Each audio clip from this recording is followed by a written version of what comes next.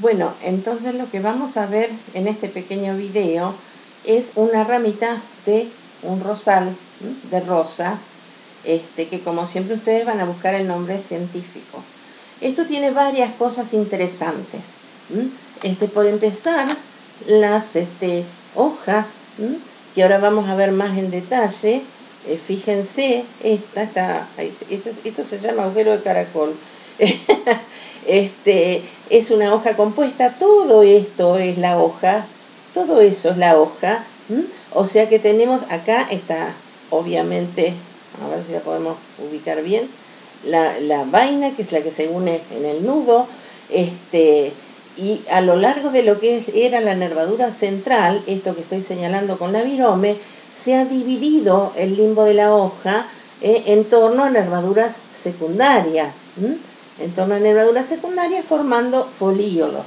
Tienen, ahora la vamos a ver solita con más detalle, tiene cinco folíolos, o sea que es este, una, una hoja eh, pinada, compuesta, pinada, impar y pinada, porque termina en un solo folíolo.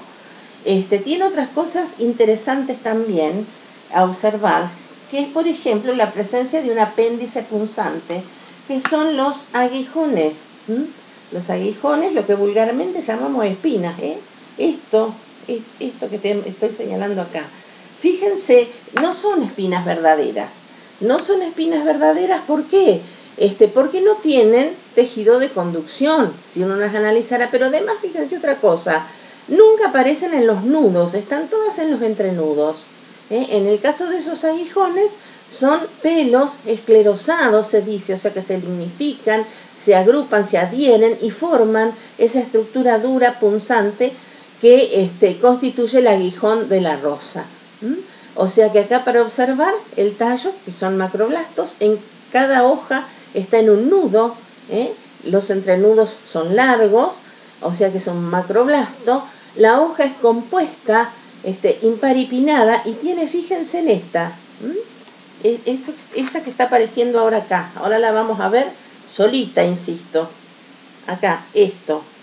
En la base de esa hoja tiene dos, como estas dos pequeñas hojitas, que se llaman estípulas. O sea que ese es otro, algunos autores lo consideran también un apéndice no punzante, pero bueno, acompañan a la hoja ¿eh? este, y son estípulas. Este, o sea que tiene muchas cosas interesantes este tallo de rosa. La flor, la flor es la más linda, estoy tratando de preservarla. Este, es una flor, fíjense cómo se observa acá los sépalos que corresponden al cáliz ¿eh? y los pétalos que corresponden a la corola, es decir, los dos ciclos de protección que tiene una flor. Adentro, esta todavía está medio en pimpollo, no, es la que dio mi rosario y no quiero romperla. Así que ustedes me van a decir qué es lo que tiene adentro. Es decir, hay dos ciclos de protección. En la forma en que la estamos viendo, es una, una la planta pertenece a las dicotiledonias.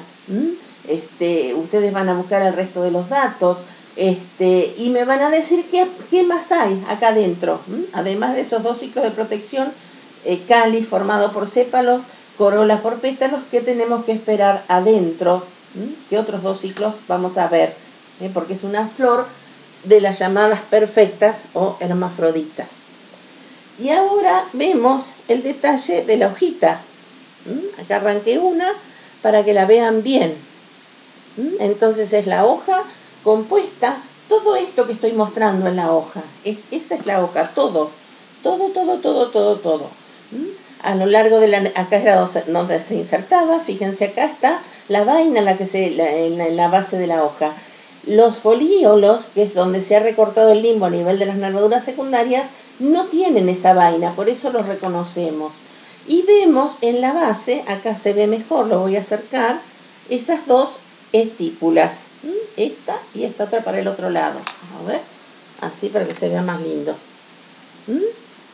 Entonces, estípulas, vaina, en los folíolos no, eh, hoja imparipinada porque termina en uno, termina en número impar de folíolos. Muy bien, eso entonces, familia rosáceas que nos brinda muchas especies de uso medicinal, incluyendo algunas especies de rosa, que me van, y se lo van a buscar ustedes.